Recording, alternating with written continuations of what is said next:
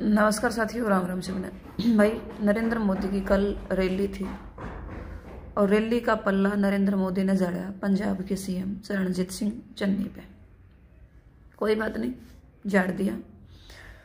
380 दिन किसान साथी धरणों पर बैठे रहे और आपका गला और आपके पसीने मात्र 80 सेकंड में छूट गए।